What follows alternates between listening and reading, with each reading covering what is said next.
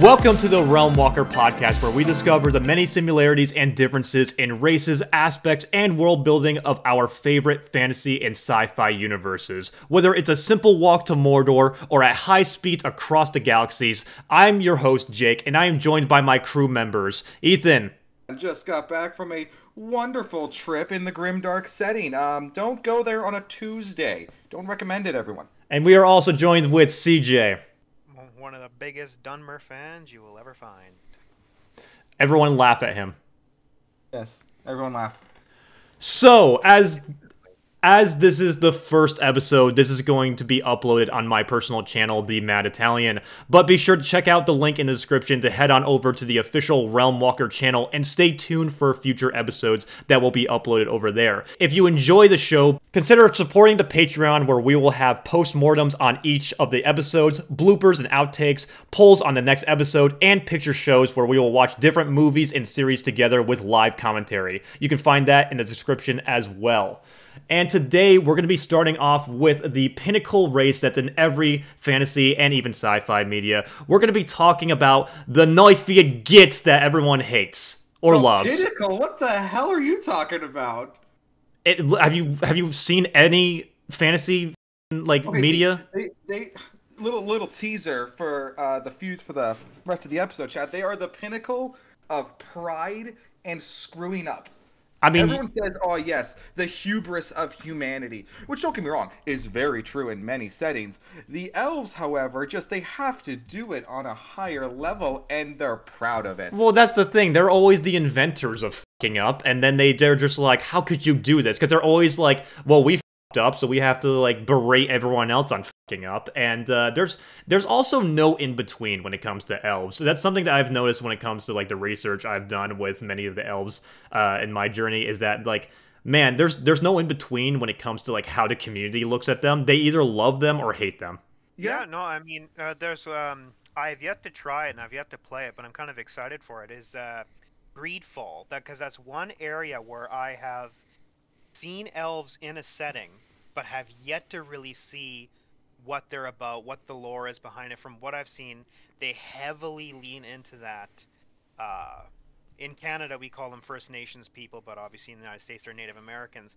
They kind of lean into that role in Greedfall, but I'm really excited to play that and get a better opinion on it. Uh, so it's kind of like uh, Indigenous peoples. Yeah, it's kind of kind of like uh, I mean that that can be kind of in tune with how wood elves are, but I guess I guess if for starters we should start at the beginning. We should start at uh, really like where elves originated from in like folklore and how they kind of came to be in terms of media. Which if we're gonna go to all the way to the beginning, we got to start obviously with Tolkien. We got to start with what is basically what every fantasy universe kind of takes its notes of. And uh, Ethan, you you took the plunge today. You got you decided to research some uh, some Tolkien elves, and uh, wasn't that fun? So, I think first of all, well, yes, it is. It is true. I did. I took a trip down into, into Middle Earth and the realms within it, and a trip through time, and I had I had a great trip. But the problem is, I think we should need to start instead with what is an elf and what qualifies it to be one, as sort of a baseline, and to what what to weigh every race against and what makes it elf-like. Yeah, so I think the main the main aspects that make an elf, especially in a lot of modern media, a lot of modern fantasies, is usually they are the eldest race. Maybe not not always like the oldest one. There are always precursors before. Like if you know 40k, we have the Necrons, which are the most ancient race. But Eldar are you or elves or Eldar. They're usually pretty old. They're like a very eldest species. They are attuned to magic in some way, and there's always the three main flavors of elf. There's the high elves, the high and mighty pricks. Uh, there's the dark elves, who are the deranged maniacs, and then there's the wood elf hippies. He doesn't mean to offend you, uh, CJ. Uh, if you guys can see, we happen to have a, a dark elf at the table with us right now. He doesn't mean to offend you, but he is completely right. Oh well, I don't know about that. Well, in in the realm of the age part, I absolutely agree because that's one thing that's kind of synonymous with elves is their lengthy life uh, lifespan. Because you the Dunmer, um, it's it's pretty characteristic of them considering 200 to be old, 300 to be you know going on beyond that. But then if you've ever played Morrowind, there are uh, Morrowind, and then eventually in Skyrim's DLC, you actually have an uh, Telvanni mage who's lived spanning that 200 years separating the two games. So based on both magic practices and rituals, you're you're looking at a lifespan of centuries, if not millennia. There, there are elves I have found in my research that do clock in at the thousands of years old, and they don't seem to age, which kind of begs the, the question like, so when when elves are born, like, do they just reach like a certain age when they stop aging? Because you know, with maturity and whatnot, just one begs the question is like, physically, when do they stop aging? Because it varies a lot depending on where you travel and what you uh, enjoy. And that really kind of goes into what really makes a lot of these elves because sometimes it comes to the point where they're kind of seen as because if I'm not mistaken, they're kind of like in between realms when it comes to uh, like the mortal realm and like the immortal realm in Lord of the Rings, aren't they? Don't they have to like volunteer to go into the afterlife? Um, so they let me let me pull it up. So they they were originally from the realm of Quendi after the great god who they the, yes they were the first and eldest children of the Iluvatar which were the fairest and earthly race of Arda. They called themselves, in the original language, they called themselves Quinde or uh, Quenya, which were uh, the speakers. They were the first ever race created by, I'm going to get this wrong, uh, Eru Iluvatar alone in the third theme of the Andulende, which was the song that created the universe. Aru Elinde is what you have to assume is basically Big G God.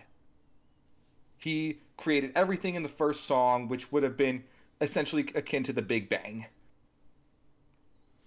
So they're they're basically kind of confirming in that case that elves are the eldest species in Lord of the Rings. They are the most ancient by far. They were personally designed by Eru Elinde to be almost an uh, it's it's strange. It's like they're an imperfect perfect race. They are so designed to be perfect and fair and excellent. Yet if you look at their their histories, they, they do have a rise and a fall, but their rise is relatively brief compared to it. They do live and they do dominate, but they become so enraptured with their own superiority and their own fear that an awareness of their weaknesses that it is their own undoing.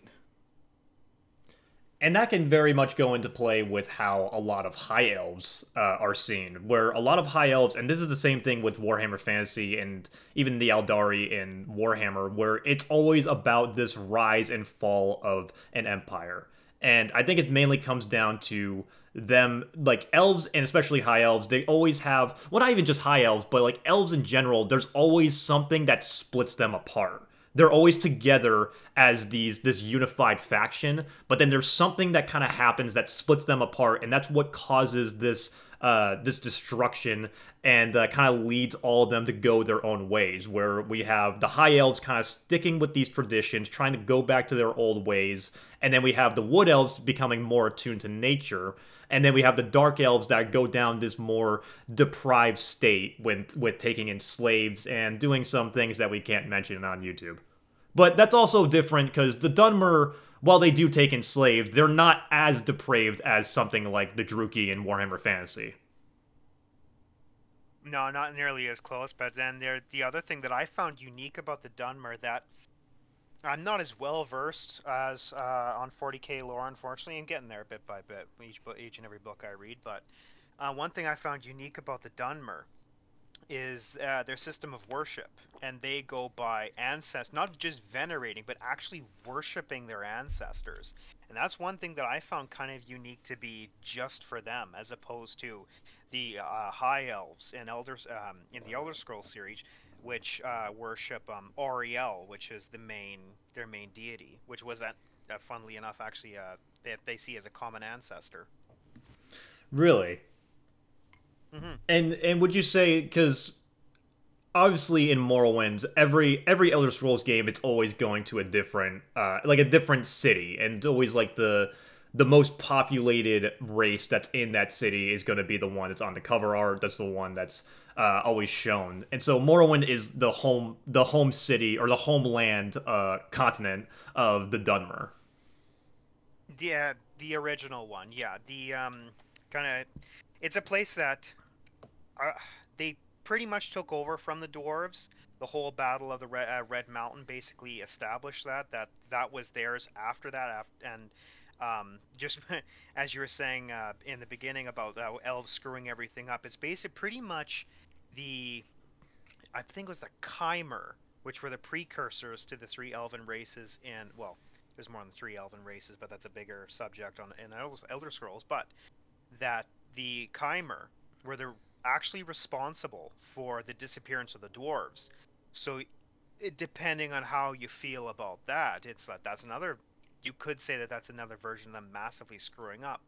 But um, yes, uh, back to your question. Yes, uh, Res- Resdayn, I believe, was the original name for Morrowind, but it's called present day Morrowind. Okay. Because I've been, I, and I've also been playing quite a bit of uh, Skyrim recently. I've been doing a fresh playthrough because like the Dunmer, and you meet quite a bit of Dunmer in uh, Skyrim as well, and they they are because they they get a lot of prejudices in general just from the Nords and other civilians as well, just because of their history. And I think a lot of that also stems from how elves in a lot of different media, we'll be talking about uh, Dragon Age as well uh, as uh, with uh, World of Warcraft, because a lot of it kind of stems from just how they're viewed through history. A lot of that is kind of very, uh, a lot of prejudice kind of comes from them because of their ups from the from the past. 40k is no different. It's always about no. yeah, it's always it's always about like how they fucked up in the past, and that's a big part of how Al- Aeldari are, which are one of the biggest and most important races because they were there with the beginning with the uh, the War in Heaven, which is the, the bigger a whole other thing we will not be getting into most likely today. Yeah, exactly. But we can also talk about how the Aeldari because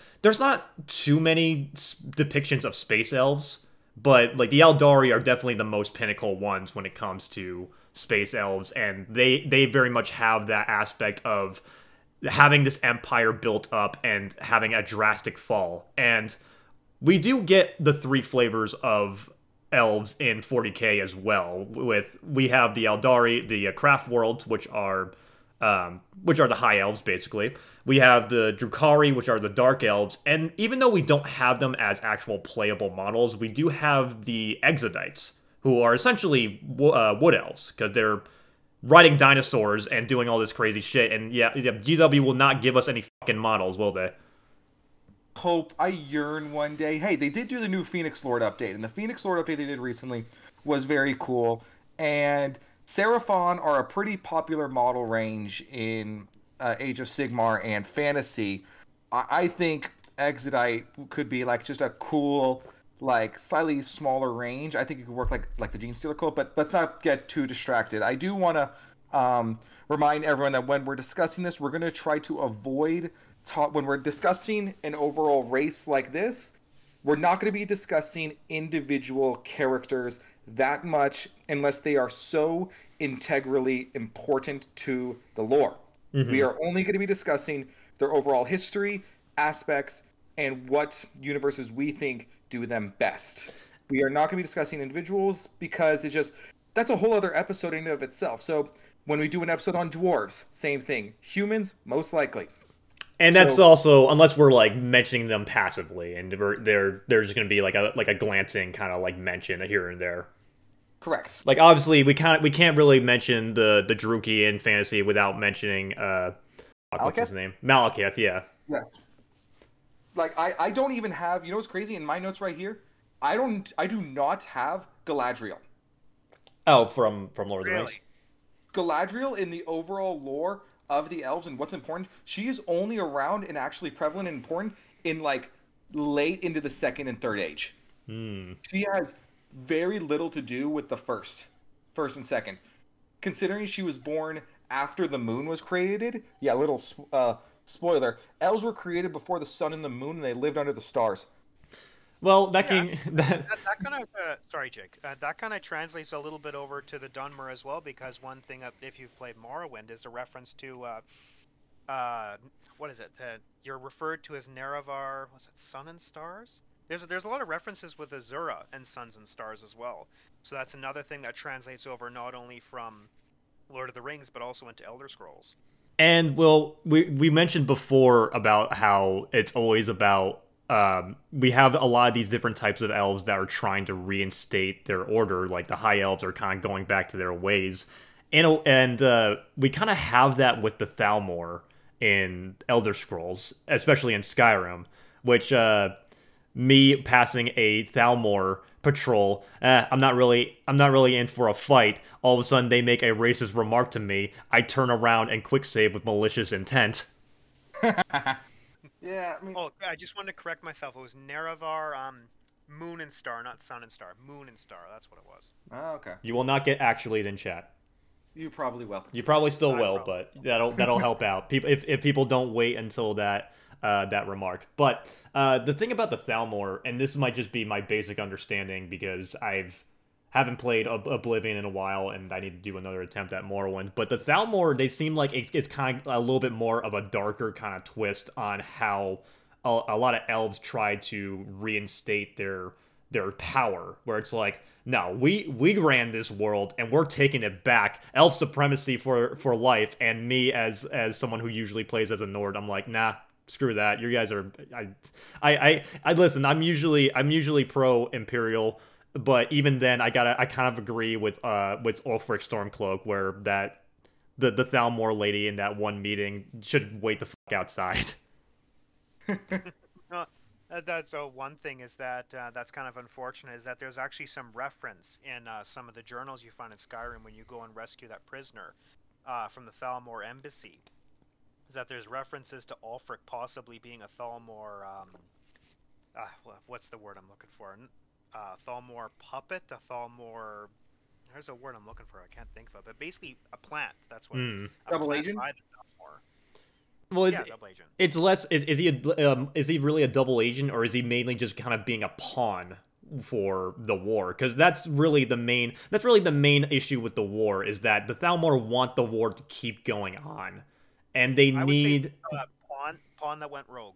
Yeah, well, because that's the thing is that they need it, it. There needs to be a victor in the war to really stop the Thalmor. I don't think it really matters who's winning. Like as long as someone wins, I think the they can defeat the Thalmor. Obviously, I think the Imperial, but that's a whole other topic. But that also kind of goes in line with how a lot of elves are, especially with their fey nature as well. Is that elves are tricky sons of bitches. In almost every media, they're always like they they always have like a bunch of new tricks. They always are trying to trick people and like falling into traps and. Uh, they're always one step ahead. That's especially true with a lot of different types of uh, elves, especially Warhammer. Like Warhammer elves are like that, both fantasy and 40k. Uh, even Berserk elves are kind of like that as well. We'll be talking about Puck. We gotta talk about Puck. I love Puck. Shame what happened to him. But um, Lord of the Rings elves are kind of like that as well, uh, with kind of conniving. When they not maybe like conniving, but more of like you you they're never showing their true hand when they're talking to you. That that is sometimes the case. It depends which elf you're talking to. Um, and definitely also depends which age you're talking about. If it's in like the first or second age when the elves were at their peak, oh no, they'll show their true hand. And when I'll get into it later, um, yeah, th- despite taking horrendous casualties in a few wars down the line, they still did dog walk all of Middle Earth. There is a reason the dwarves absolutely despise them. and um, do you want me to get started? Or do you want to keep talking overview? Uh, let's go ahead. Let's go ahead and get started with some uh, some some lore on Lord of the Rings elves. it sounds like you're ready. Yes, I am. I have two pages of notes I have taken over a very reasonable time and not right before recording. I'm a responsible student. Okay. I feel like that silence is directed towards me. Oh no, it's just me. Me. No, it's just me in general. I, I who who who studies a week before a test? Nah, fam. If you study right before, it'll be fresh. And then you forget it on the first, and then you look at yeah question number one, and you're like, F- Exactly. So, as I said earlier, they were created by the the big G god himself, Eru. Eru Litha- Iluthvata. Iluthander, forgetting the pronunciations. Elf is fuck. If we screw up the pronunciation, I am very sorry to all the elf fans in in the chat. I, it, it's really difficult. There's a lot of L's in here, more L's than they take. Sorry, sorry, elf fans. It will happen again. It will. so yes, the firstborn of Iluvatar were creating the third theme, explicitly theme of Anulindale. That, that's woof. Okay. Woof. They were um, explicitly they woke at the Cuiviénen, or the Water of Awakening, as it's known, in the farthest east of Middle Earth, well before the time of the sun and the moon. The sun was not created yet. The sun wasn't real. They existed entirely under the stars that kept them uh, that kept them alight. And eventually, they were the first elves were. This was during what was called the Long Night period. The first elves that were awoke were Emin, uh, his wife Emine, Tata, Tate, Enel, and En- Enele. They were the first three pairs of elves that would then travel west and eventually find more and more of their kind along with different specialities. They had they found the wood elves, they found they were the original six were the first high elves, and they would keep coming along more and more and more until they totaled up to 144 elves, and they created uh, they created poetry and music originally for Middle Earth, and eventually they content and were in near the land of Cuiviénen, which was where they were first created. However, the Dark Lord, the original Dark Lord, not who you think it is, Melkor, the original of the fallen small g gods, like a tier above the Vanir, but below Eleuthero, was before them, and he sent spies to kind of, you know, poke the elves, see like what their what their deal was. Like this was like the first like real power in Middle Earth. What are we what are we dealing with here? And eventually the elves caught word of this. And the they got they got word of it and they got panicked. They ended up running away and they got corrupted and they were mutated into the very first orcs. There are no dark elves in Lord of the Rings. Not in the sense that you think of, not with like drow or anything like that. No, no, no. They dark elves are orcs. What do you, what do you think? And and well, it's it's interesting you mentioned that because I actually looked up what the first depiction of dark elves came from because uh there there are no dark elves. There, there's only really the the ones that we know in Lord of the Rings from the movies and the books. We know there are high elves and we also know that there are wood elves. Uh, those are kind of like the two originated ones that are from Lord of the Rings. The the earliest depiction of dark elves that I could find was Drow from Dungeons and Dragons. Uh, the first edition uh, D&D actually had Drow that were depicted as enemies. So that's kind of where a lot of the ideas of dark elves kind of came from was from Drow. And if you guys have played any amount of Baldur's Gate 3, you know that uh, Minthara is the pinnacle uh, drow, and you do spend quite a bit of time in the Underdark. And You do. you see a lot of not just drow culture, but also a lot of the other Underdark races as well. And uh, it's not a great place.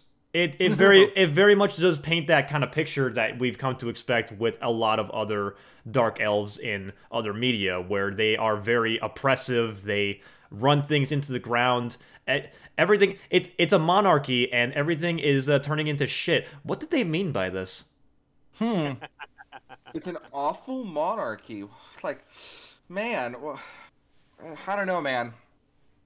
But even even like Drow, they have such an interesting society because Minthara even mentions this when you talk to her. Is that uh, she actually has a great zinger for Gale in this. Uh, poor Gale, he can't catch a break. Um, but he has a she has a great zinger where she will be like. Uh, in Drow culture, the third child is usually ostracized or even killed before they uh, they're even born. You have the aura of a third child among you which is pretty damn cruel considering that I'm a third child as well. So, Uh, but besides besides the point, yeah, Drow. That's kind of where a lot of the dark elf culture kind of came from. It came a lot from D and D and kind of having establishing the Forgotten Realms in this kind of uh, environment. So, and that's why I think a lot of the time dark elves are are very they are they are a very easy antagonist to make because they're definitely the most smug pricks out of all of them. Ten percent. They are absolutely like awful people, and the, a lot of the time they revel in it. Yeah, like they are They take great pride in the fact that yes, we know we're awful, and they'll either go one of two ways. They're either claim that they're doing it to survive, or they'll just say, "No, we just do it for the love of the game." Mm-hmm. And that's actually pretty pronounced with um, the Dalish and the City Elves in Dragon Age Origins. Is that the the Dalish have that smug, arrogant attitude of, well, we're upholding our our customs, our history, our traditions, and everything, and then they thumb their noses down at that's it. Like they'll take in City Elves every now and again. There's that instance of that one boy in uh, Dragon Age Two who was having those dreams and. That's a, that's a whole another other thing. Bringing out demons with his dreams and stuff. But um, uh, the Dalish, I would say, it again, like Jake mentioned early, it heavily depends with Dragon Age games because they, they they change so much with each game, and their depiction gets kind of muddled. But the smug, arrogant thing definitely it translates to almost pretty much everything. But then there's the kind kind of sort of forced humility with the city elves. Yeah, and that's something that I actually, at least with the first few games, I would I would like to say this because I listen, I came I came out with the with the Veilguard video recently, so if you guys saw that, you know my stance on Veilguard. But what something I really appreciated, at least when it came to the city elves, is that Dragon Age actually did something unique with elves. Um, the Dalish elves are very much a similar copy and paste uh, concept of wood elves we can agree to that. They, you know, attuned to nature. They're very much. Uh, who's the bald guy in Origins? The bald elf. Zathrian. Zathrian, yeah, he's he's very much like he's very bitter about what the humans did to him, and it's all about they trespassed in our lands. This whole thing, he very much has that wood elf kind of aura to him. But they do something unique with city elves, which is instead of making them the typical uh, high elves that are always trying to regain their power, they take it away from them they are like beggars. They live in alienages. They're basically in ghettos. And it's it's very interesting to see that they're actually the, the best jobs that they can have are serving as maids and servants to humans. So it's something that stood out a lot more to me um, which I think Dragon Age did a really good job with making that stand out. And it, they really did a great job at making their universe stand out, especially with Origins. And even even the Dalish had their own thing that kind of made them stand out as well, because they overall didn't really have a choice because it was either that or just be poor in the city. Yeah, and uh, there's even a lot of instances and references that the history, the common, the lore is the wrong word, but the history, the common culture that they have is in itself muddled. Like they, they, they claim to uphold the traditional Dalish values, their history that goes back millennia. But there's a lot of inferences and a lot of references and a lot of uh, what uh, I'm tired, so I'm having trouble coming up with the words here. Uh, contrary, a lot of con- uh, contrary statements in Dragon Age that say, no, a lot of what you're doing is not as old as you think, and there's a lot of muddled belief that what they're practicing isn't actually what their ancestors did millennia ago. So what the Dalish are so snobby about isn't actually their most purest traditions in its most true form. And that kind of goes into another similarity that we see with a lot of elves in all these media is that emotion is the most important thing to them because a lot of the times their emotions are heightened. Their emotions are very much at play, and they are very prideful individuals. Every elf, whether they're wood, high, or dark, they are incredibly prideful. And they might not admit it, but they will always show it with their ego. And they, they won't admit it, but the results will speak for it. I haven't even gone like that far down, and I can prove to you that elves are beyond that of prideful with what they've done. Which in That's why when I brought up the city elves, I say forced humility. That that is a forced humility that they have on them. Mm-hmm. Because even though they're kind of more down in the dumps in the in the city, they're still holding a lot of that mark of what they used to be and kind of what they know that the humans don't. But uh, did you have did you have anything else to share with uh, Lord of the Rings elves? I have a bunch more to share. We so I know I said earlier that I wouldn't bring up, you know, individual characters and Melkor himself isn't even an elf. However, I cannot talk about the history of the elves and where they ended up without talking about him. So yeah, I had to I had to make an executive decision and bring him up. So, um, as Melkor came into being and became more powerful, uh, he was fun facts for those that don't know the original commander of the Dark Lord Sauron. The hmm. Really? commander of the ring was just a lieutenant to Melkor and worked very close and was quite loyal to him. Knew better than to rebel against him. Mel- Melkor was what was known as a fallen Valar, which were basically like they're not they're almost like a tier above angels in a way, or maybe they are akin to angels. It gets kind of it gets kind of muddied with how Lord of the Rings is, uh, but at both parts very biblical and very Norse, and so there's a lot of different conflicting representations and similarities. So it's a little hard to find them. But well, let's that just comes say, from um, uh, Tolkien himself, who was a devout Catholic. In addition to the fact that the earliest representation of elves come from Norse mythology. Absolutely, and he was a huge Norse mythology fan, and so it it is it is very clear that these are two very differing and very potent belief systems thrown into a pot together. That's not a bad thing. It just makes it a little tricky, you know, do your traditional comparisons and analogies that I love with my teachings. And that kind of goes into a lot of the the Fey kind of inspiration that comes with a lot of these types of elves because a lot of it comes from you said Norse mythology, right? Correct. Yeah, so a lot of that comes from these very old stories of the land of Alfheim, where these elves were very, they were always like very tricky creatures. They were kind of seen as these uh, sometimes benevolent, but sometimes also mal- malevolent, and you never know, they could be leading you to treasure or they could be leading you to your demise. And kind of going into that whole idea of tricking people and uh, kind of having fun. And that kind of goes into the idea of uh, Berserk elves in a way as well, because Berserk also has a quite unique way, but they stay in line with that very Fey kind of aspect of them, where the elves that we see in Berserk are depicted as uh, tiny little pixies. The, the most prominent, the most prominent member is Puck, who I actually believe was the inspiration for uh, Navi and the fairies in uh, Legend of Zelda. And also, I want to go ahead and mention right now, we're not going to be talking about Hylians. They are not elves. They just have point. Hylians are not elves. Sheikah, kind of, but no, they Hylians are not an elf-like. They are a No. human-like. They just, if you happen to only see um, an elf-like species as species with pointy ears, congratulations. Orcs are now an elf-like. Yeah, exactly. So yeah, we're not going to be talking about Hylians because as far as we can all agree that they're basically just the humans of Legend of Zelda. But Absolutely. when it comes to Berserk elves, is that this kind of also goes in line with how uh, sometimes like the elves can be very attuned and they can kind of exist in between realms.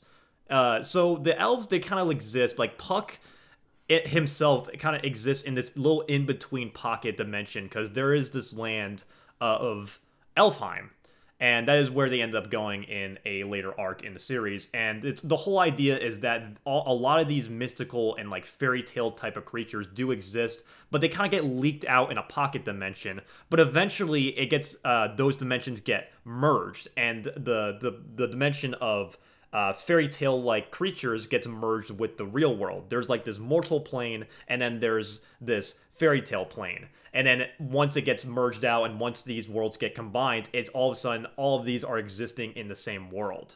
And uh, it's becoming a lot more common to see a lot of these uh, creatures, and that's kind of that's an interesting thing because like Berserk kind of goes from a dark fantasy to more of a traditional fantasy. It still does keep the the fantasy like the dark fantasy aspects of it and still kind of keeps the mature tone but it kind of does slowly over time leak a lot more of the fantastical elements in there so it's a very interesting way to see it but the attitudes of elves in Berserk, they have a very happy-go-lucky attitude, and they are generally genuinely seen as positive figures. Puck is a very positive guy, which makes it very entertaining when he combines with Guts, who is just the most negative person ever.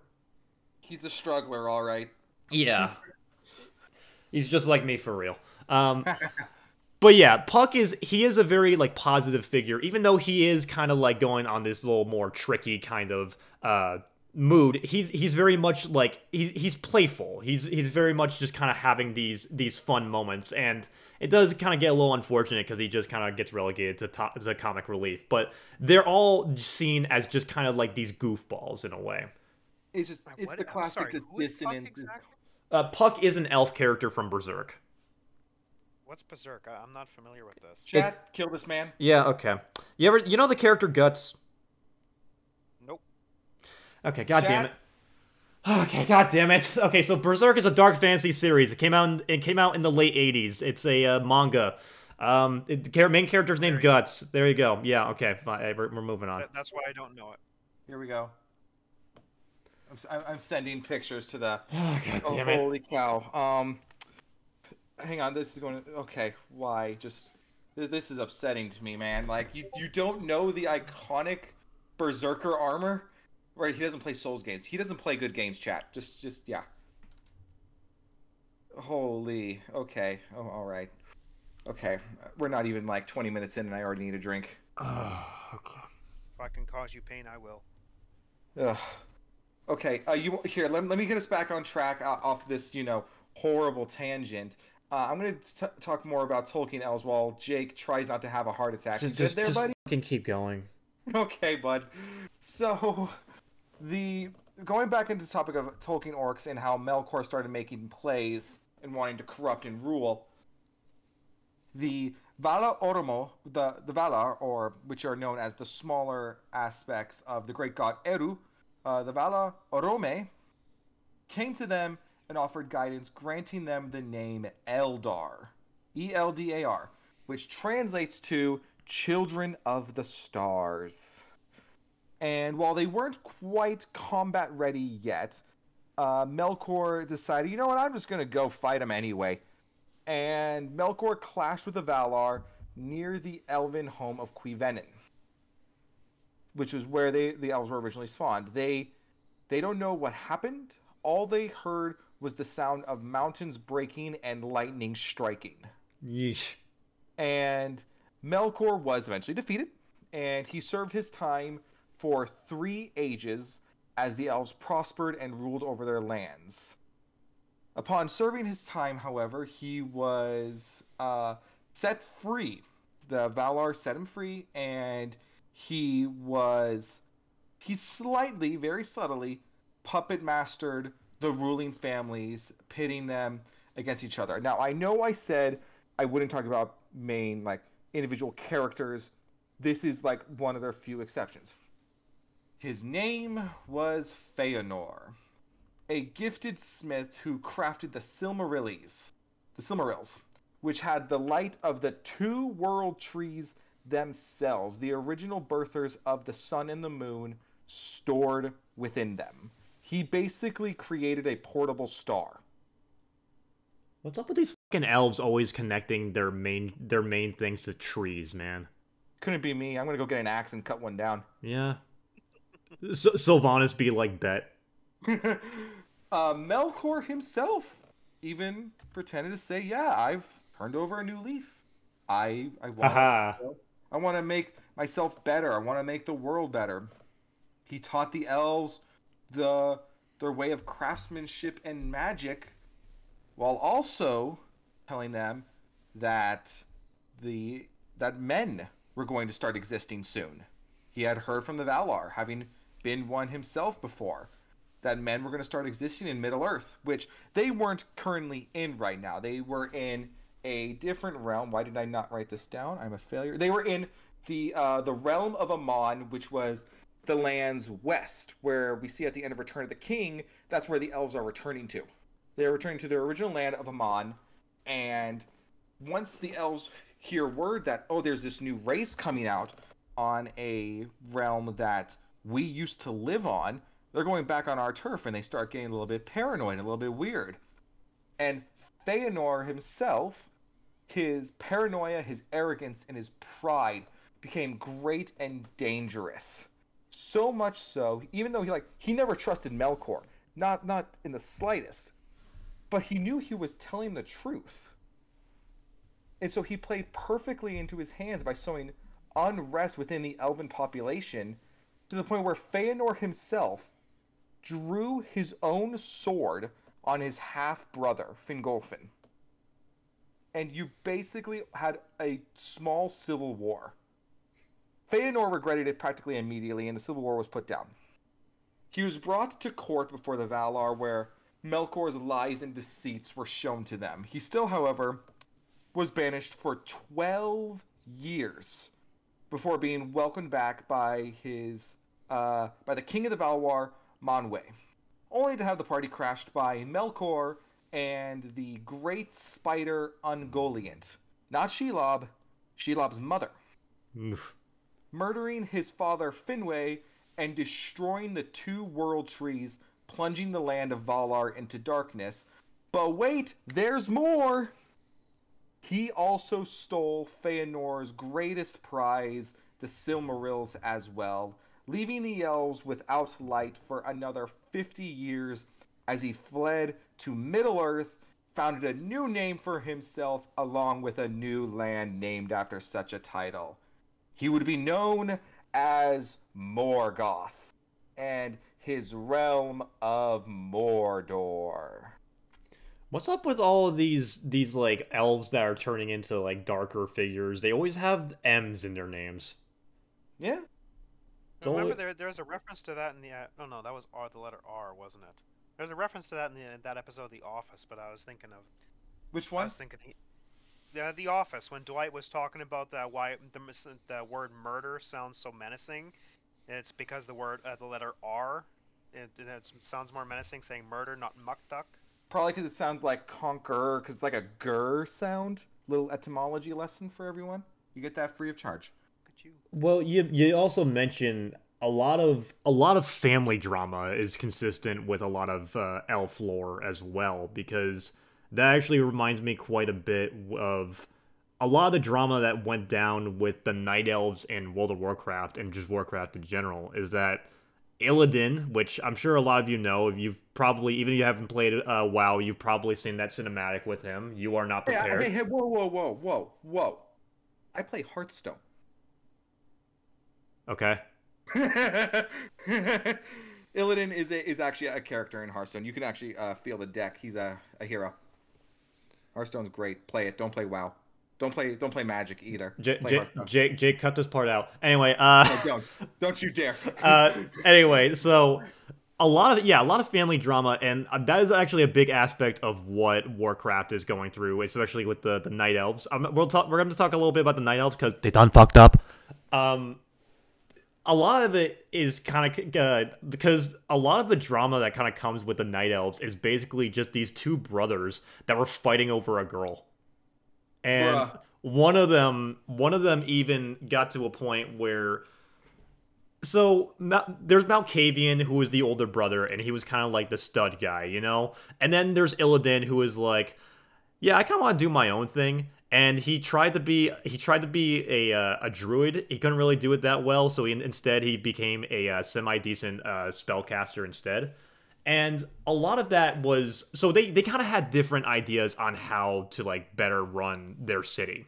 And Illidan, the thing about Illidan, and this kind of goes in with a couple different types of elves as well, and uh, is is a lot of the a lot of times like elves kind of have a problem with with getting a little too close to demons and demon like things. So Illidan kind of had this problem where he saw that he could get power, and he was like, "Hey, I can get power, and I can better protect the like our land and our tree." Because they, they have like their own world tree as, as well that gets burned down not once, fucking twice. Damn. Um, but Illidan kind of. for a third. I mean, listen, man. If you if you give if you give Blizzard enough time, I'm sure they'll burn it down. Um, I, I want to see what, who who could win in the contest, but between who hates elves more, in Blizzard or Bioware. Um, but Uh, Bioware's doing a pretty good job right now. yeah, absolutely. I, honestly, I think they hate elves more than the fucking player base does. But the the th- so Illidan kind of got a little too close to this demon skull, and he ended up becoming a half demon. And uh, the girl, the girl that he was interested in, was like, "Dude, you're a fucking idiot."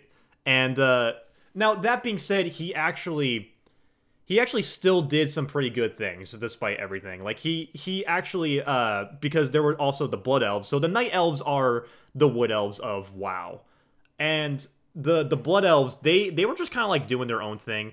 So the blood elves are they were originally the high elves and they were kind of having their they they were doing their own thing. They're just kind of in their own land and after uh, the blood elves are or the, uh, the the high elves at this point they were known as the Sin'dorei, and so they're doing their own thing. They have this thing called the Sunwell, and that's where they get their ar- arcana because as usual, like especially high elves, they they are very much attuned to magic and they they use magic for pretty much everything.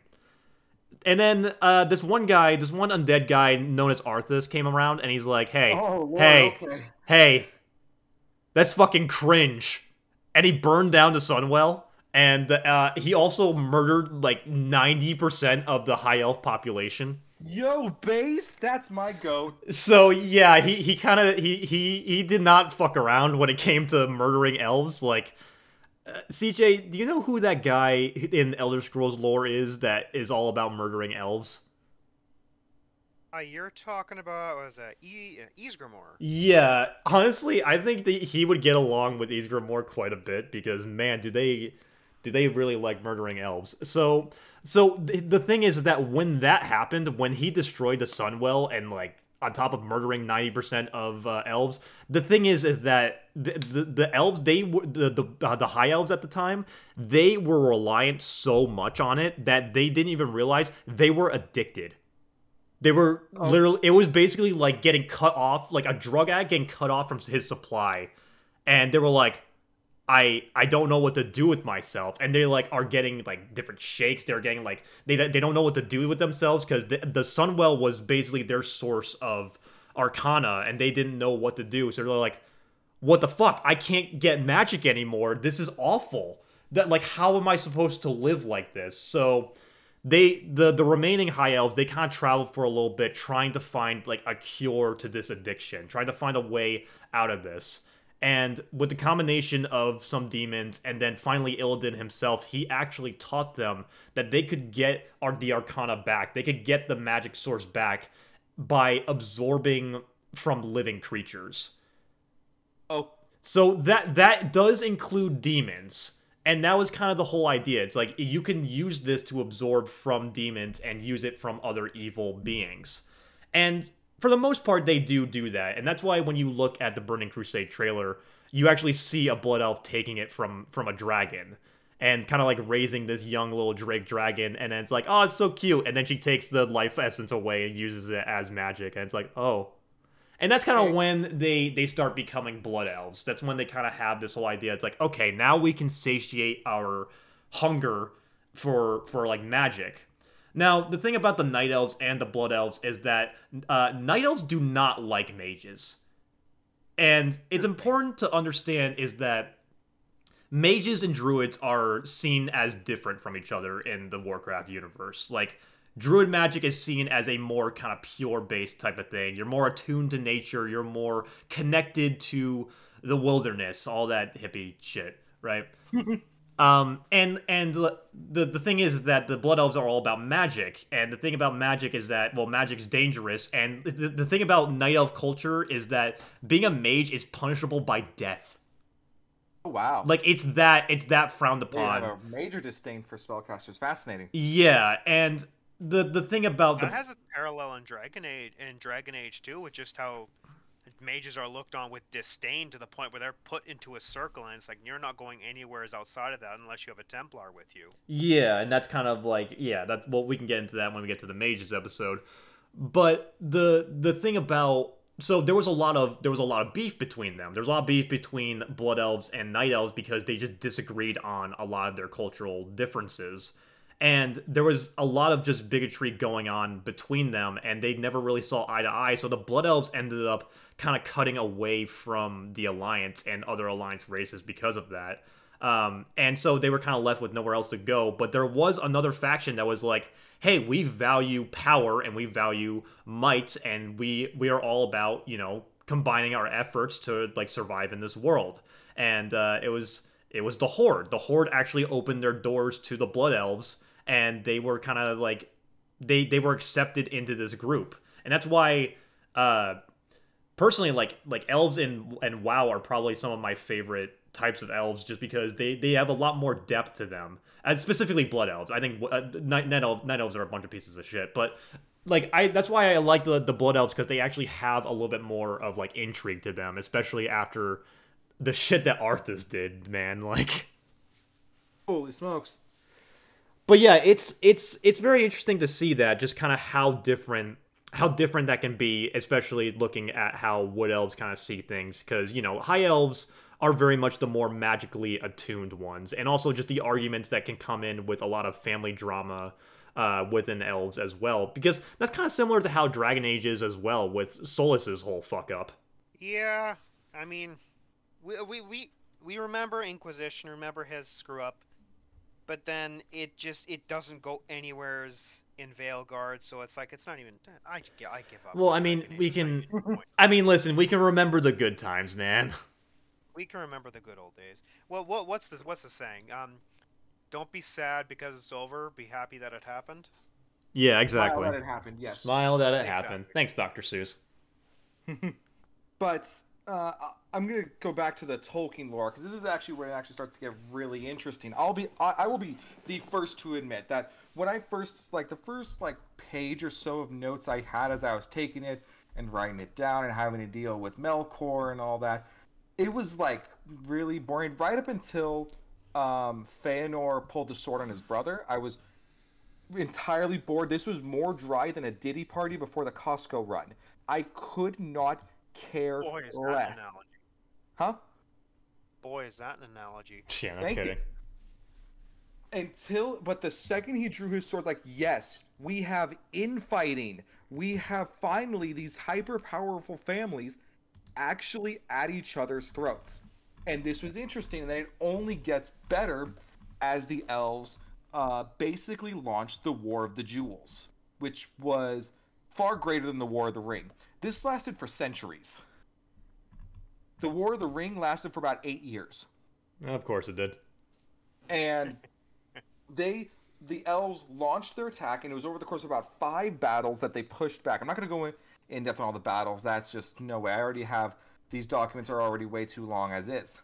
However, what's really interesting is that when they fought and they pushed Morgoth's forces back, they conquered the land.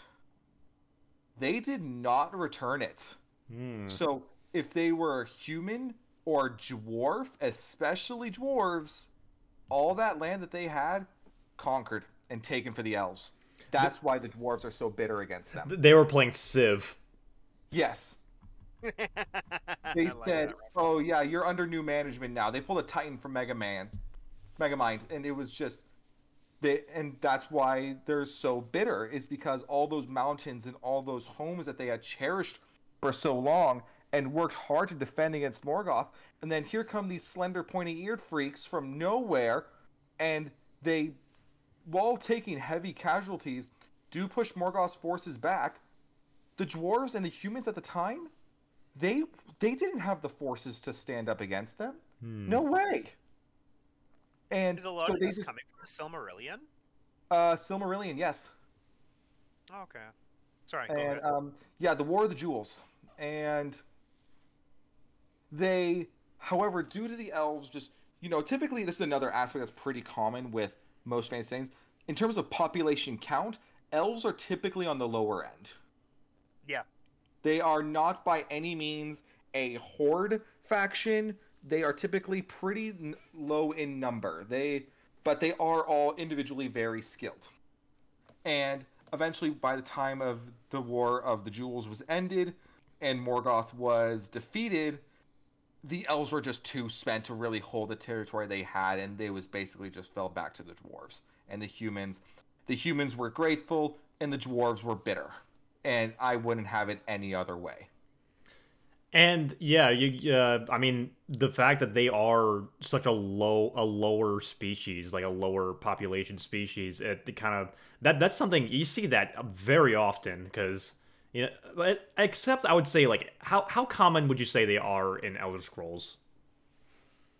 In regards to uh, how often you see them? Yeah, because I mean they have main cities. You go to Morrowind, you're gonna see a lot of Dunmer. You go what's what's like the uh what's like the main city in in Elder Scrolls where the Altmer are from? Um, well, they're from the Summerset Isles. Um, as to what, like the, like the, uh, you're talking about the capital, capital city. Yeah, well, I'm just saying in terms of like they're they're not like an endangered species in in Elder Scrolls, would you say, right? Well, the um, the uh, well, it also depends on what game you're talking about because in Morrowind, obviously, the Dunmer are flourishing, they're doing great, but then by the time Skyrim happens, well, the Red Mountain has just exploded, making almost all of them, pretty much all of Morrowind uninhabitable. Oof. Solstheim is one of the only inhabited places that the uh, that the elves can go, which the Nords still have a tiny, tenuous grasp on, but that's like a small Nordic tribe. Anyways, the the de- uh, Dunmer had pretty much been decimated be- uh, because of that. So when you see the Dunmer in Skyrim, you do see quite a few of them, but a lot of them are situated in um, Windhelm. Mm-hmm. So, so even then, even then, like they're still kind of having trouble in uh, even in Elder Scrolls as well. Even though that kind of ha- they have like a lot of main cities. Uh, oh yeah, oh yeah. I got well then the uh, the freaking yeah. Someone's gonna get a giggle out of this, but yeah, no, the Argonians then invade Morrowind as well. Oh boy. The, the smallest Argonian W. Let's go. I, I, I saw I saw a comment that was on like the Thalmor all the Thalmor insults, uh, depending on the race, where it's like uh, crawl back to your swamp, little Argonian, and and someone replied with the swamp that you didn't conquer. Let's yeah. go. exactly. Black Marsh is. I uh, love dunking echo. on elves. I love it. Got a shout out my lizard boys. Let's go. Yeah, you'll you'll very quickly learn that uh, Ethan is. The... Shut it! Shut! Shut! Shut! I just think lizards and dinosaurs are cool. Ethan's a scaly. Shut. I'm not. They're, they're not a fit. Hang, hang, hold on. I, I, yeah, you I, you play like listen. I'm just saying you have made two fucking Dragonborn characters in Baldur's Gate. All right, meme and it's funny. And you have only made a fucking Argonian in Skyrim. All right. Because it at this point I'm so committed to the bit. It's funny. Hang on. Wait, and and you also you. This you, is how I feel. You this also said every damn day. You also said if you were to get into AOS, you would play as the fucking lizard men. Well, yeah. Have you seen Kroak? He does look cool. There, I just sent it to the Realm Walkers Instagram chat. Everyone, look at that. I have this shit saved for whenever y'all call me a scaly. This is how I feel. All right. Well, anyway, back to fucking knife ears. Um, but anyway, um, we were talking. What we're talking about? We're talking about Elder Scrolls. So yeah. So so even in Elder Scrolls, like elves are still on the. Is that so? Is that why the Thalmor are so like extreme with how much they want to take back control. Well, the other thing too about the Thalmor is that they're part they're pretty power crazed after defeating the Empire. That's what the whole White Gold Concordat was about. Like the Empire is pretty much what the Empire in Oblivion is just decimated compared to the Empire. But so you you even look at the uh, the armor. The one thing I think Oblivion did better was obviously because of the setting, Oblivion is in Cyrodiil, so obviously the heart of the Empire, you get a better look at what the Empire is like. But the oh, they did such a better job with the armor in Oblivion as opposed to Skyrim, because the Skyrim's the regular Legion armor just looks stupid, but that's besides the point. The uh, Thalmor are pretty much high as a kite on on power at this point because they've defeated the Empire. So that this is where again where the pride of the elves comes out that they're top of the class right now. We'll have to see what happens in Elder, Elder Scrolls 6 85 years when it comes out from now. So yeah, I was about to say. In five years, dog. Elder Scrolls 6 for the PlayStation 6, maybe. PlayStation 7. Ugh, exactly. I hate it, man. I feel bad for y'all Elder Scrolls fans. Well, well, we. It's a nice thing about being an Elder Scrolls fan is that you have uh, you have the older games to go back to.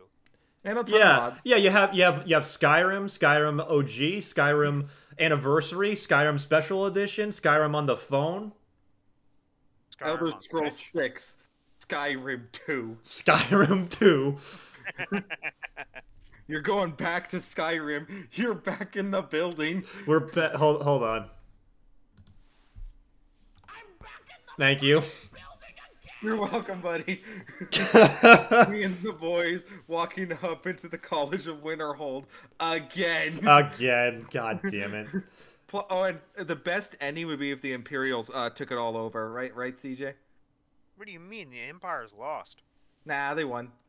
Well, it also that that's kind of an interesting thing to look at because it really does show that the the elves they kind of like bided their time a little bit, and they were like, "Oh, hey, look, uh, all these like Daedra and fucking demons and this leak from Oblivion was just fucking up the the Empire. Hey, they're weakened. Let's go fuck it up and take it over." Yeah, Yeah. got- smart play. I now, mean, did the elves have a hand in sending those demons after them? Probably. Well, the he other didn't. thing about the uh, the uh, about that was the Mythic Dawn. The Mythic Dawn was a multiracial thing. Like there's a bunch of different races in the Mythic Dawn for going from both human and elf. What, like, what do you mean? Can you give me a bit more of an example? Like it. Okay, have you? No, you haven't played Oblivion, frick, have you? No, I have not. I don't play bad games. Oh, you don't know anything. Um, basically, when you go into the cave, there's this part of the main quest in Oblivion where you go into the cave to infiltrate the Mythic Dawn, who are trying to bring back um, what's his nuts? Uh, Da Dagon, Mehrunes Dagon.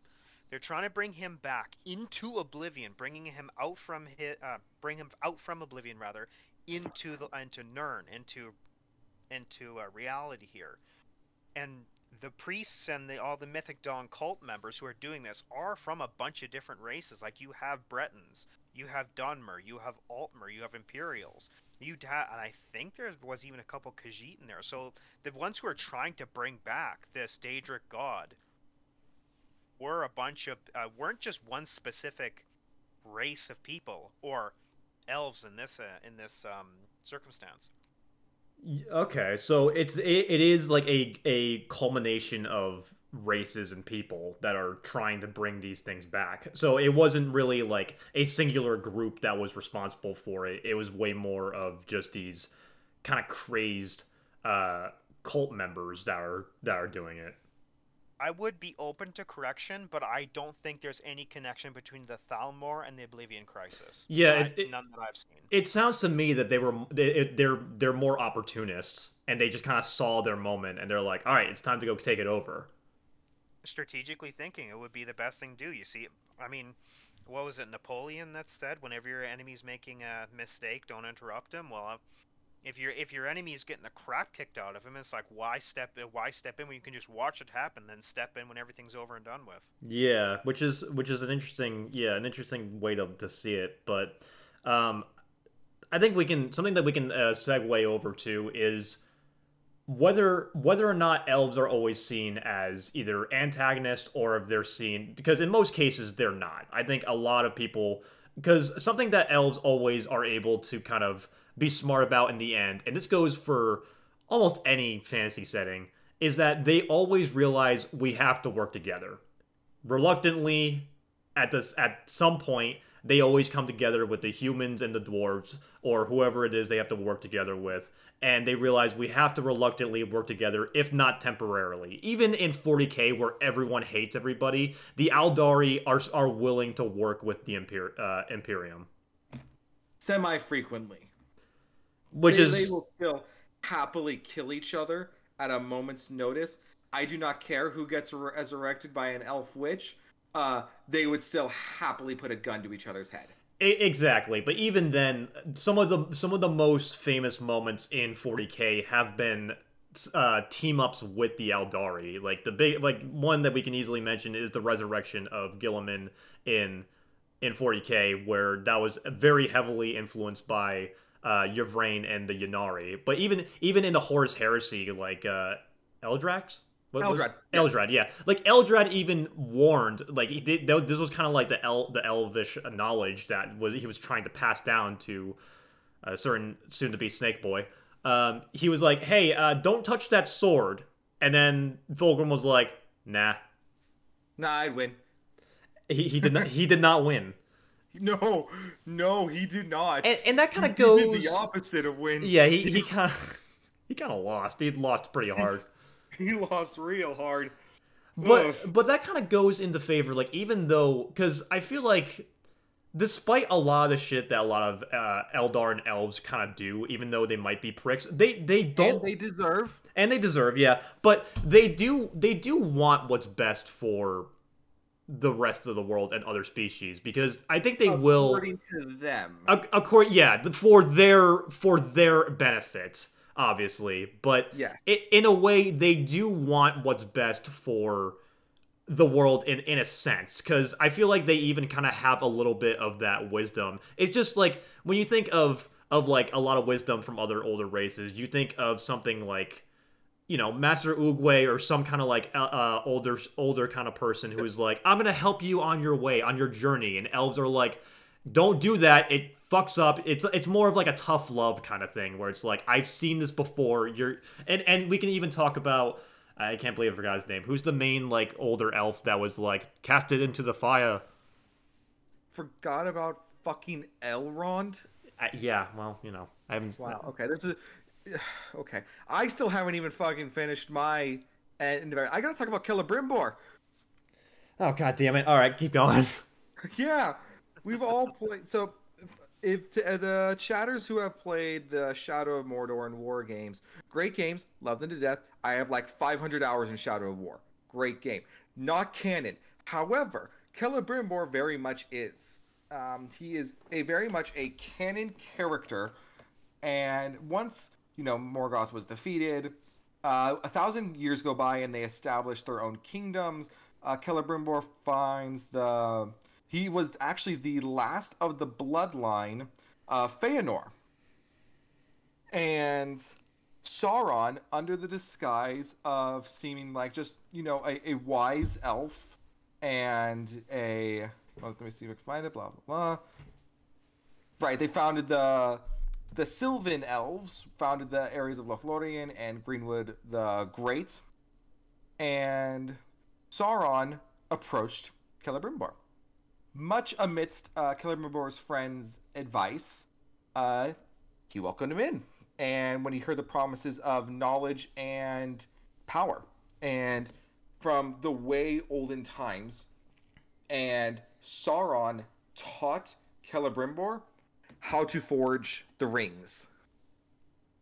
He forged all of the rings, the rings for dwarves and the rings for men, and they were all given out as gifts. And he forged them under the eyes of Sauron. And now, what people don't realize is that those rings were all just basically antennas that would feed into the One Ring. That's why those nine kings of men fell so quickly is because they had a direct link to Sauron's corruption. Sauron's corruption would just easily just gnaw away at them. And the reason why the elves didn't fall is not because they were perfect, but because Celebrimbor forged them while not near Sauron.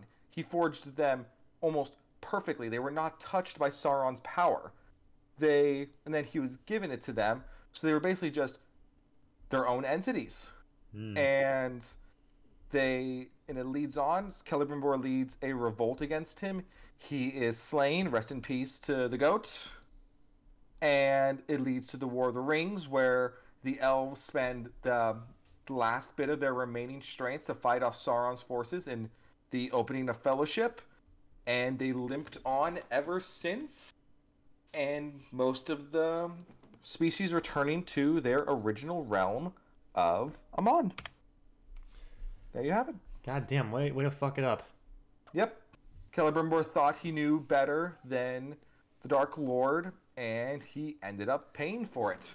And yeah, so we haven't we haven't really talked that much about uh, Warhammer Fantasy elves as well, because when it comes to when it comes to the, both the Warhammers in general, both 40k and fantasy, it's actually kind of interesting because uh, we we haven't really we can start with 40k. So 40k very much like the elves the for those of you who are familiar with the the birth of Slaanesh and the fall of the Eldar, there I think we need to like hold on. We need to like dial that back and explain that. Yeah, yeah, we will. So basically, the elves had the empire, and they basically had a lot. They were the ones after their victory because they basically won the war in heaven. They, they won the war in heaven. I know Jake, the Necron fan. no, no, I. I, I can admit this. All right, um, they won the war in heaven. It, it was it was over. The orcs were doing their own thing. They weren't being a problem, and they're like, all right, let's expand and let's thrive. So they thrived, and everything that they needed to do from from getting food, from expanding, from conquering, it was all done. How long did they rule the galaxy for? I- remember? Probably like a few centuries. Hang on, one moment. Let me let me check. Yeah, you want to look that up? Two minutes, please. Um, remembering. Oh no, they um, I, I have the War in Heaven pulled up as well. Uh, they ruled for uh, sixty million years. Yeah, so they ruled for a pretty long time. And Yes. in that rule, they basically decide to themselves, well, what do we do after we're done with everything? Well, at first, you take a little bit of an interest in your culture and you kind of start to get more enlightened by your arts. Your What's what's the line? There is no reward for perfection, only an end to pursuit. Well, there's also another another line where idle hands are the devil's playthings. So they Ain't that they start innocently enough. They just kind of make a lot of paintings, make a lot of plays, but then they're like the thing is is that elves their emotions are heightened. So they kind of need to dial it up even more. So a lot of their entertainment becomes more deranged and more bizarre. And th- that's where we get the divide between the different Eldar species that we mentioned mentioned before, where the craft world saw everything that was happening and they were like, "Yeah, this isn't this isn't for us. This isn't what we used to be. We we need to go." And they were like, and and the thing about it is that it wasn't really a lot of, at least compared to a lot of other, uh, like there obviously still is some drama within elf culture when it comes to the Eldari, but a lot less. It was way more of just these disagreements and people going their own ways. The Eldari and the Craftworld Eldar, they just kind of like left on their own shuttles far away from this culture, while the Drukhari and all the elves that were still doing these things, and especially in a planet called Commorragh, they were kind of doing the worst of it.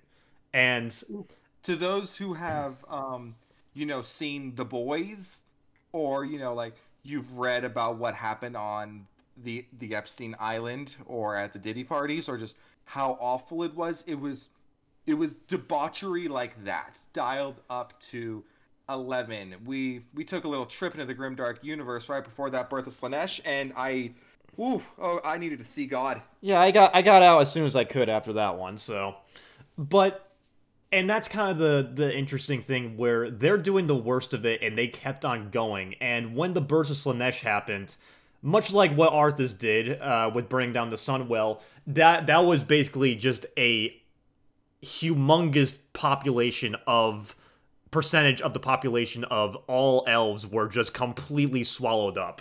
Uh, what, like 95% minimum? yeah, and but that's also where we get to a lot of differences as well because obviously this is kind of similar to the whole thing with Illidan where he gets a little too close to these like bad demons de- like demons and kind of like bad things that summon demons. But the thing is is that Illidan kind of had that issue of getting too close to demons whereas even though this has happened and even though Slaanesh has kind of become this uh like an in a sense an Eldar goddess god Slaanesh, for those that don't know, is one of the four, the youngest of the four Chaos gods. The the Eldar had a very debaucherous upbringing, and they're all very talented mages. So whenever one dies, it impacts their immaterium very much more impactfully than a non-mage. I'm using very simple terms. Do not actually me in the comments. I know what a psyker is. I have Grey Knights in front of me. Okay, thank you. Yeah, and and then and then like uh, but but the thing is is that after all of this has happened, all elves from Craft World to Drukari to Harlequins, they hate Slaanesh. They are completely like they hate them beyond belief because even after bringing them to life, they are still being consumed by them, and they see it. They see them as kind of like an ungrateful child, basically. so And I'm laughing because you're right. yeah, Sorry, correct me if I'm wrong about the lore, but don't the um now and with Slane- Slaanesh in the picture, don't the Eldar go out of their way? Because I'm I'm still a newbie at 40k lore, but I I'm doing a little bit better more and more.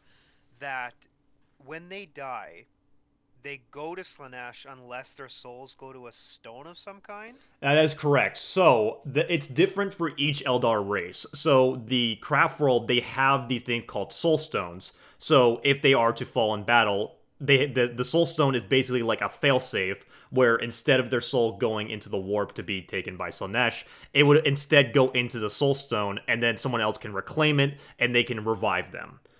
In terms of the Drukhari, uh, because Drukhari Drukhari souls are a little bit different. So what they they have these things called homunculi homunculi. Oh, we're going. Oh, we're going to homunculi. Oh, this is not better. Yeah, well, you know. So basically, th- there's a lot of there's a lot of uh, dark and deranged shit that happens with uh, stuff. But basically, you would make a deal. It's all about making deals. It's a pirate haven, so you give top coin to people, and it's all about it's all about basically making deals with people that will more than likely stab you in the back, but you at least have a long enough agreement so that they will help you out in the end. So you give you basically get, you you mutilate yourself in some way. You chop off a finger, like a, a thumb, something like that. You give it to a homunculi. Uh, because the thing about the thing about Dru- Drukhari is that you know with magic and with a lot of well I guess Drukhari don't really have psykers because they Drukhari, um, that's another fun fact for Dark Elves in 40k, Drukhari. Um, magic is entirely illegal, as they do not have a soul stone and they exist in what's basically a pocket dimension called the Webway in the realm of Commorragh.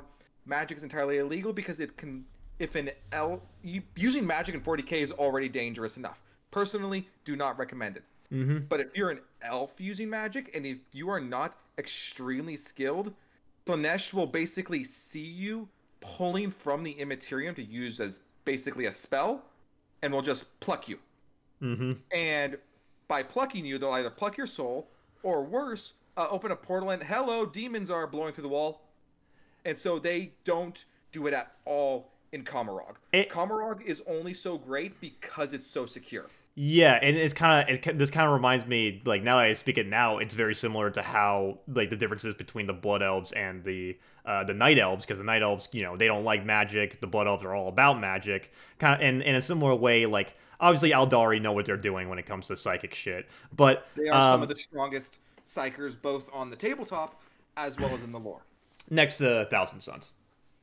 Um, in lore, actually, no. Um, Craft World Eldar are actually stronger, Oh, are they really? even with Slaanesh basically, you know, t- holding one arm behind their back. Um, like sure, like maybe someone like Ahriman, but like Eldrad did throw Magnus around. Okay. So yeah, um, eat shit, Magnus. Woo! Magnus can't stop taking L's, but anyway. But the thing, so to revive yourself as to like keep yourself away from uh, going to Slaanesh as a Drukhari, you would mutilate yourself, give it to a homunculi, and uh, if you if you were to fall in battle, well, your soul would still go to a body part that the homunculi is keeping, and he would grow you back. He would basically like build you back using body parts, or he would grow you back using vats. it is a horrifying taste in a it's it's really ironic that in the world of 40k everyone's evil that's the charm of it that's what we love about it the dark eldar are the most evil Absolutely. That's saying Absolutely. Yeah. hands down and they're they're they're a fascinating culture they are if you can get past and acknowledge that yeah i'm playing the villain and you're not like you know those Imperial players who think that they're actually fighting the good fight. You're not. Um, insert Jin, insert Jinro uh, misinterpretation meme here. but just yeah, no, they they have a fascinating way of culture. It is a mixture of pirates and the mafia. And and that's what kind of makes them so terrifying too. Yes, the, the um, I, am reading the Lilith book um, right now, and it's very interesting to look into um, how the Dark Eldar function because they deliberately do not um, go go to war, not in the traditional sense. They they do not go to war. They do not try to conquer. That is very key. They've explicitly said that we don't want to conquer. We already have the best territory in Commorragh. They just want to take. Mm-hmm. They just want to take livestock and people.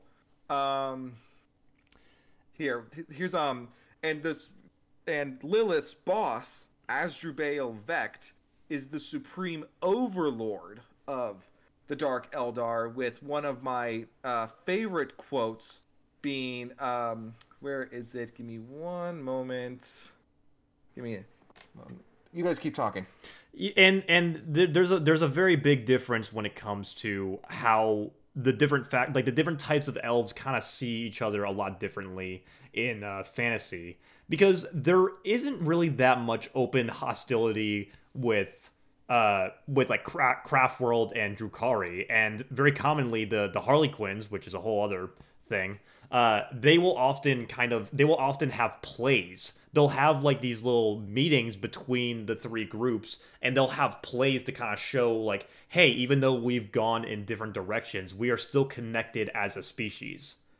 And it's very different in fantasy because high elves and dark elves in fantasy have open hostility with each other. They do not like each other at all uh, yeah, and like I said, you go back to Dragon Age. There's that open hostility between the uh, between the Dalish and the City Elves because, like I said, yeah, if if you're willing to embrace the Dalish ways, you're willing to go back to tradition. Yeah, they might take you, but there's still some hostility between. No, you decide to go live with humans. We don't want you here. Yeah, well, it's also the fact of like you abandoned me in the fucking city to to, to like yeah. stay with these humans. Like, what the hell was I supposed to do? That type of thing.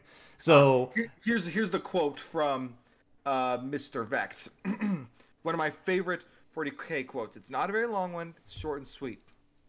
To them, they see torture as an art form. But here's here's the quote: "We are the lords of despair, masters of terror." Dread and agony are our meat and wine, and they are plentiful indeed. Are we the baddies? Yeah, they're definitely the baddies. See, the thing, the different, the difference is that the Imperial fanboy will try to justify justify how they're the good guys. The Drukhari fan will be, just say yes. the indomitable human spirit. Uh huh. All right, that's nice. Get in the meat grinder. Yeah. get, get get in the scrot the scrot lamp. that, that, that's that, that's nice. Let me turn you into a chair. Yep. But uh going into fantasy, like how fantasy elves see each other, the so you you have the typical flavors of elf with fantasy as well. You got your high elves, your wood elves, and then your dark elves. Uh, when it comes to what I was researching, when it came to uh, how they all see each other, basically the the, the the the high elves and the dark elves they're the twin siblings that are constantly competing with each other and the wood elves are the ones that say fuck you guys, I'm doing weirdo shit. Be- good for them. So, and that's really kind of it. Is that they they are exactly what you expect. Like the the wood elves are very much the fey type of creatures, but they basically saw all the shit that was going down, and they're like, "Nah, fuck that. We're gonna go. We're gonna live in the woods. We're gonna go hang out with Ents." I, I kind of respect that. Like you just you don't want any part of that nonsense, and you're like, I, I don't want to be part of that drama. It sounds awful. But but not only that, the the Wood Elves actually do another thing. So there's a faction called Bretonnia, and uh, they're the French, And the thing is, is that they're playing them. They're like playing this this kingdom of uh, French people into thinking that uh, they they get healing from this this person called the Lady of the Lake, but it's really just a, a wood elf that's like a goddess wood elf that is uh, fucking with them because she thinks it's Really? because she thinks it's funny. Go off, Queen. That's awesome. So That- yeah. that's great. Now, now the Dark Elves, we have some named characters. We have Malekith, who a lot of people have uh, mentioned that he is the uh, the Darth Vader of fantasy. you want to tell CJ that one joke about Vader and him? So Malekith, much like Anakin, he had issues with his master, his lover, and his uh, and his mother. Unfortunately for Malekith, they were all the same person. Ew. Okay, so I think this got retconned, and any fans. Here's my hot take. Okay, you ready? That should not have been retconned. it, it, it is one of those like weird things that's like you know what you can kind of see it elves weird.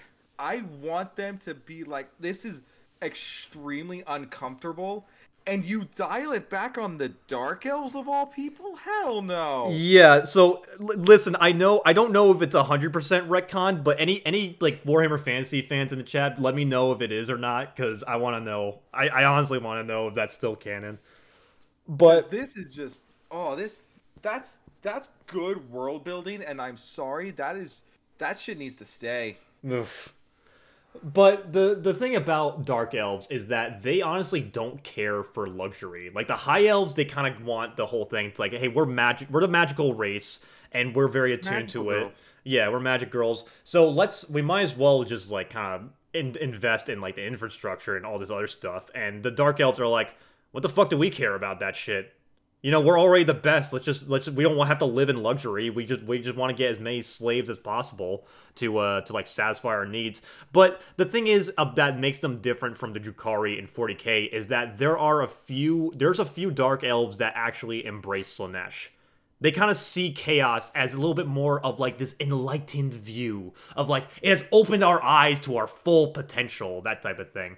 Um, because 40k is very restrictive when it comes to the powers of chaos. It very much is heavily uh, dominated by humans, which is uh, uh, fair enough because you know the the elves, the Eldar are a dying race. Orcs have no souls. Uh, orcs are a like a collective mushroom brain. Uh, Tyranids are a hive mind. The Tau are tiny, um, and like the the Necrons have no souls, right? So it makes sense in that regard, but fantasy is a lot more open to other races actually getting affected by chaos in a way. For those who know, um, fantasy is a separate universe from 40k, um, and it is not the same timeline. They just use the same deities. I, I like to think of it as basically imagine a sandwich. The top bread is let's say 40k. The meat and contents in the middle is the warp, where all the chaos gods and all that good stuff resides. And then the other piece of bread is your fantasy or your AOS. That's actually like a surprisingly good way to describe it. Yes, because uh, once in a very rare blue moon, there will be very tiny crossovers, um, like Be'lakor, for instance, who has been to both. Um, Kaldor Draigo also popped up in fantasy. Don't ask, or was it Age of Sigmar? I think it was. I mean that that's kind of just a cameo mainly, so Yeah, but yes, they are they are separate. It's not a timeline thing. They're just different universes. But uh, do you guys have anything else to add uh, before we start wrapping up? Because I got one more thing I want to mention, but if you guys have anything else for your respective, Um, the do you want to talk about the Quins? uh, we can talk briefly about them. Like the the Harley Quins, they are. It, it- like yeah, so the Harley Quinns are their own thing. So the El the Eldar do still have their own gods as well, on top of like Chaos gods existing. There are other smaller entities, but Most of them got nommed by Slaanesh. except for Cegorach, who is the, known as the laughing god for the Eldar. And basically, there was a, enough belief in this god, and he was kind of powerful enough where he was able to save all of the Harley Quinns that believed in him. And uh, whenever whenever a Harley Quinn uh, falls in battle, as opposed to having a Soul Stone or as opposed to uh, needing a homunculi, uh, the the uh, Ke- Cegorach will will hold hold the soul in his hand, go up to Slaanesh and be like, "Hey, Thumb war. or you know, it, he has been known to break into Slaanesh's realm and pluck souls like a kid plucks cookies from a cookie jar. And he thinks it's hilarious. It is funny. It is very funny. And but most importantly, uh, the Quins also guard the greatest repository of knowledge in the galaxy, known as the Black Library. Yes, that is not just a marketing stunt by Games Workshop. If you know anything about their books, They that is an actual place. they also they also have they're they're the ones that are actually searching for a way to uh, trick Slaanesh into uh, saving them, and that's why they are the best Eldar species in 40k because instead of going on these ships and crying about how better they were or constantly torturing uh, people and, and and complaining about how Slaanesh ruined anything, the the Harley Quinns are like, nah, we're gonna find a fucking solution to this shit. We're gonna do something about it. Yeah, so that's why we have the most based Harlequins, and it just sucks that they're they're so difficult to paint. and uh, you know the rules that keep getting shafted. I think they're gonna have. I think I heard rumors that they're gonna get their own um, detachment. So you know that that's good. I mean, that would be nice. But uh, C- CJ, do you have anything else to add for Elder Scrolls or Dragon Age? Uh, for Elder Scrolls, I would add, uh, as much as people love to say that, you know, the uh, Wood Elves, the Bosmer, are just doing their own thing, I would like to remind everybody that Valenwood, or the Bosmer, are part of the Dominion. B- Bosmer Bosmers when they see an uneaten corpse. So, th- oh, go ahead. they they are part of the Aldmeri Dominion, so they basically went because they don't really have like a standing military. They are part of the Dominion and are under the Dominion's protection. So y- you can like them, but you're a Dominion fan if you do. Well, who's never played Dragon Age? Sure, man. well, I mean that's that's Elder Scrolls. Oh, Well, I Skyrim, it- and that was years ago. it's kind of it's kind of interesting you mentioned the Bosmer because you know obviously you got like the hippie races that are always uh, kind of like the vegetarian druid types, right? But the thing about the Bosmer, they are like barbecue masters. Literally. Yeah, like they they are more than happy to fry up anything and uh, and eat it up, and that might include uh, a human or another or another elf. So just uh, keep that in mind. But that actually is very similar to what I would say is my favorite depiction of elves. Even though I haven't played a lot of this game, there's this game called Divinity: Original Sin, uh, the same company that made Baldur's Gate 3. Uh, before they made that, made they made Divinity, and they actually do a really good job with depicting having very unique uh, versions of all the races in this game as well. You can be a skeleton, like an undead skeleton, which is really cool. Uh, skeletons are awesome, but something that I think is interesting about them is that they their version of elves are very like weird. Uh, in a similar sense, they kind of have like they're, they're they they're very much wood elves. Uh, that's kind of what they're based on, but they kind of have a similar thing to the Bosmer, where they're not afraid to eat a lot of other like meat, and that includes people. And they kind of play into the rumors that a lot of other people and humans kind of have about them because they're like, hey, they think of this, they think this as us. Let's just let them do that because it makes them afraid of us. And one of the first characters that you meet in uh, Divinity, the main one of the main companions, I don't remember her name. Uh, when you're on like you're because you're you start as a prisoner, when you're on like the ship, she'll be like, "Hey, let me lick your arm." And when you let her do that, she actually like set she gets a lot of these memories from you. So a lot of times whenever they're like they like taste another person, they are like getting these memories from that taste. It kind of goes into the whole aspect that they have these heightened senses and they're able to kind of use them in more ways than just uh, like tasting like a normal human would. So they're very odd, but they just have such a unique kind of vibe to them, which I really like. I also really like how they look. They look. They're one of the most unique looking elves I've seen. Like a lot of elves, they always have that very androgynous kind of like look to them, where they're very slender, they're very slim. But sometimes I feel like they can look a little too close to humans. Um, but these ones, they they do not look that much like humans at all. They are very, very interesting. Um, Yeah, I tried to get in. I don't know. It's one of those games that I try to get into, and then one, once you lose interest, there's no getting it back. It, it's it's it is difficult. It's one of those things where I do recommend. Um, it, it's kind of it's, it's honestly even harder to play it now because uh, Baldur's Gate, in terms of like personally, like Baldur's Gate in terms of like a mechanic wise game is is a lot better in my opinion, just because a lot of it is a lot more modernized up and uh, the, the controls feel better. But here here's a picture of what uh, a Divinity Elf looks like. What in the French hell? Yeah, this is this is some some wacky shit.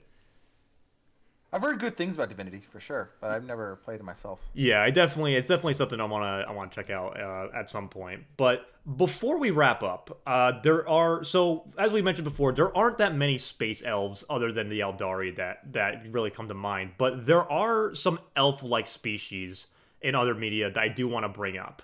Um, oh yes, let's do it. Yeah, so one I do want to bring up is uh, the the Na'vi from Avatar.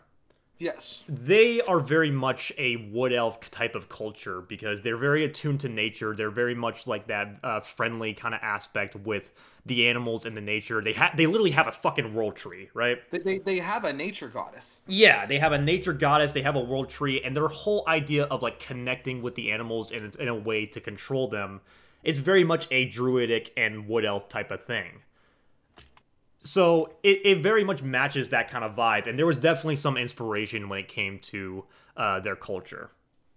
They're they're very they're they're an indigenous peoples first and foremost and yet they with their design and how they behave it is a very much seems like a wood elf type in space.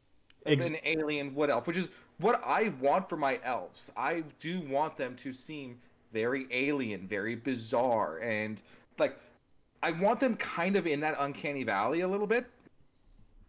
Like I look at them like that's human-ish, mm-hmm. but so it's it's off. It's it's off, and you can't put your finger on it really. And as as he said with Na'vi, one I like to introduce that is super out of left field when you think about it, but if you actually when when you first hear it, but when you think about it, Wookiees from Star Wars, Chewbacca, are an elf-like.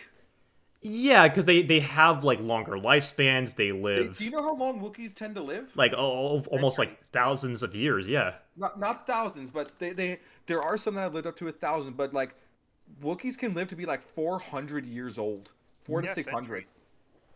Yeah, and, and, and once again, they're, they're tall, they're lean, and you can't tell a Wookiee female from a Wookiee male really apart that well. Yeah, very androgynous as well. And with how they're very much in tune with nature.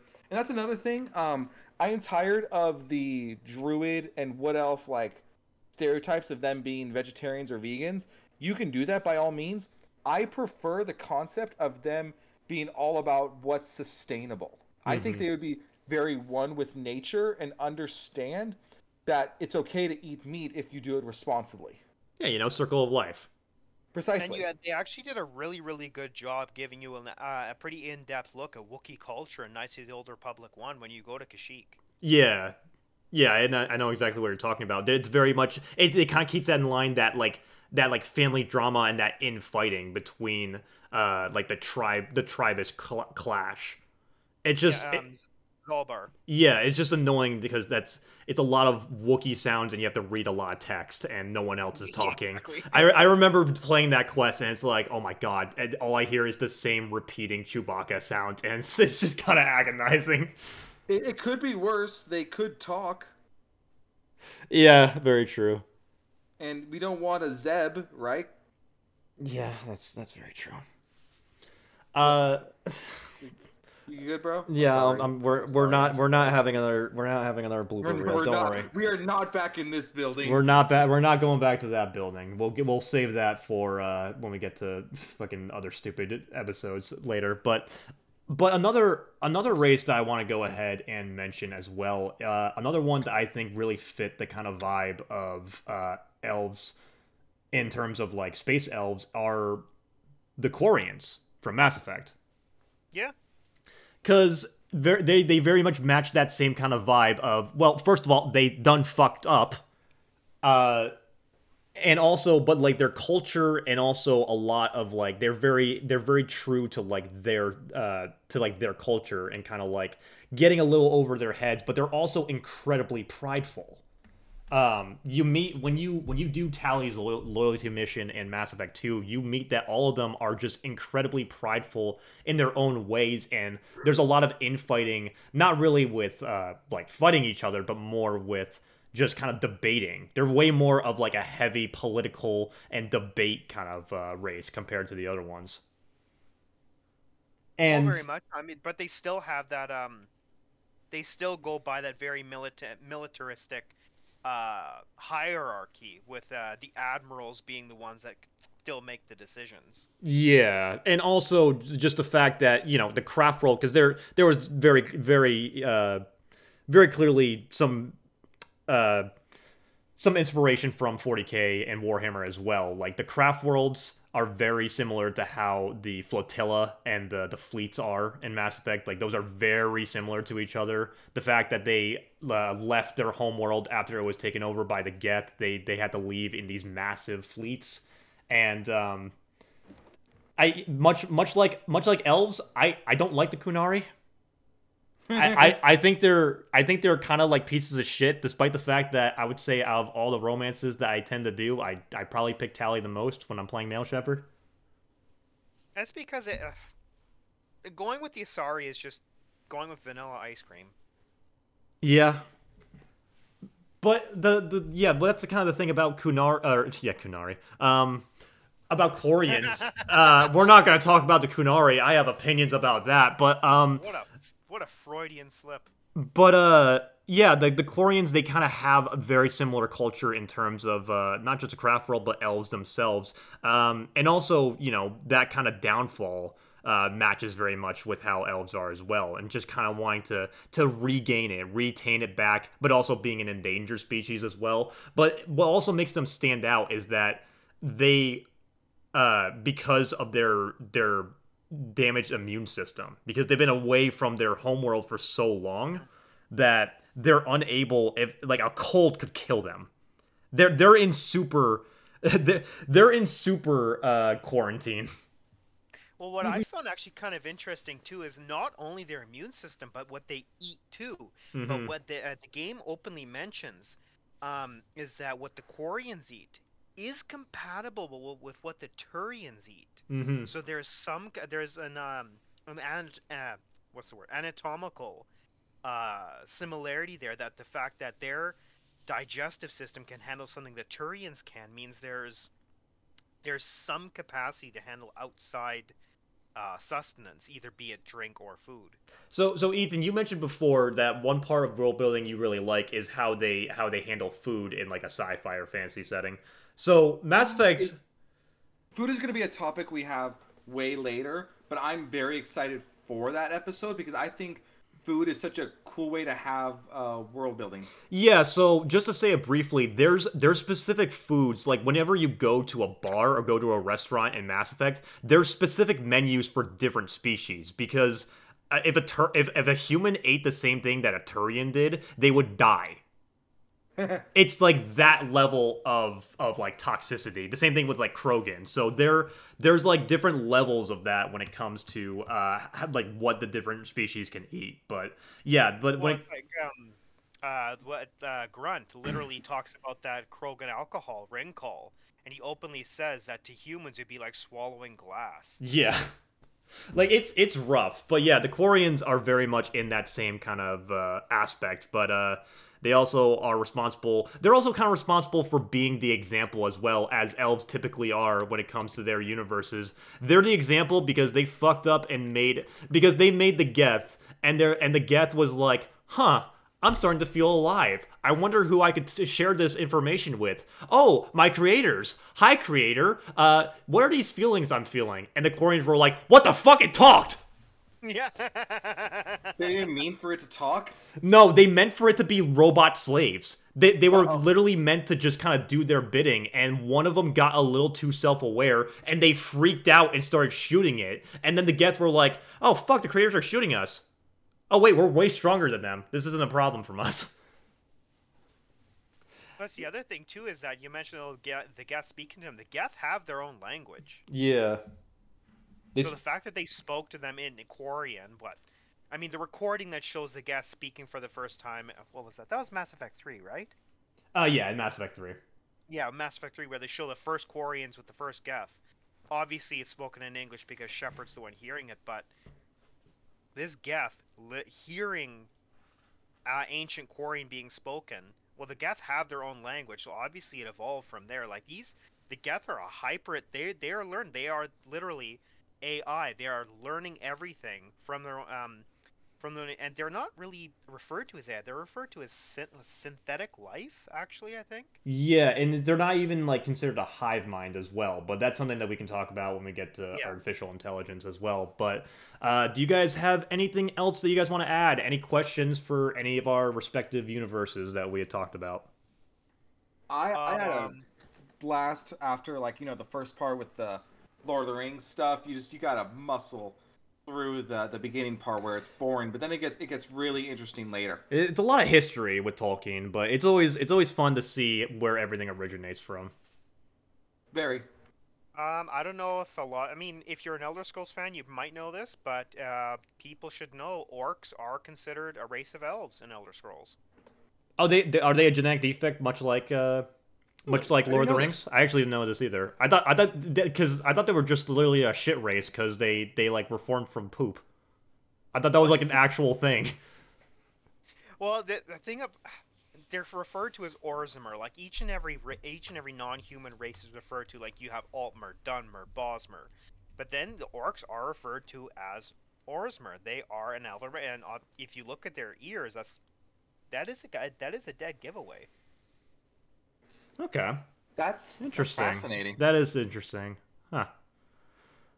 All right. Well, thank you guys for listening to this episode of Realm Walkers. If there's anything we missed, comment it below. Odds are we will do a sequel to this topic one day.